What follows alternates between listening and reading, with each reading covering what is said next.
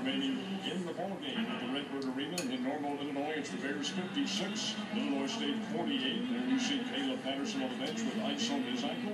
You are watching Bears basketball on KCC. Not taking it. on Chino.